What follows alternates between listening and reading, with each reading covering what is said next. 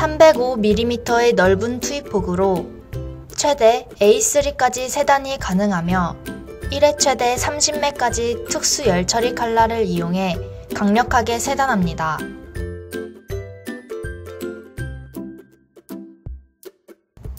작은 세단칩으로 정보 유출 걱정을 덜어주고 50dB의 저소음 모터를 장착하여 조용하게 세단합니다.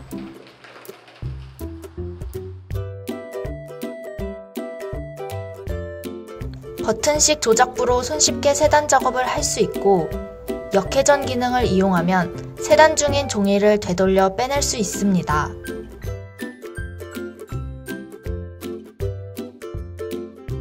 문서뿐만 아니라 CD와 카드까지 다시는 사용할 수 없도록 완벽하게 세단합니다. 세단 중 도어 열림 시 사용자의 안전을 위해 자동으로 세단이 정지되며 LED 불빛과 부저음으로 알려줍니다. 이동식 바퀴로 이동이 편리하고 95리터의 대용량 파지함으로 자주 비우는 번거로움을 줄여줍니다.